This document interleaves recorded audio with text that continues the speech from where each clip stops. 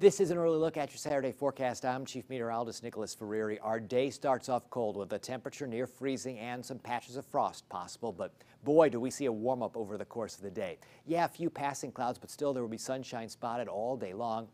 High temperatures end up in the 70s come afternoon time, and on Sunday, the temperatures keep climbing and we see another windy day around here. Top gusts on our Saturday around 40 miles per hour from the southwest. On Sunday, top gusts around 35 miles per hour. Sunday will end up close to 80.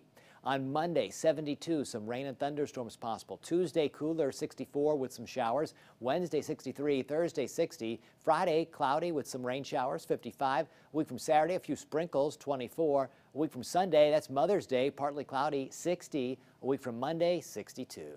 That's your latest forecast update.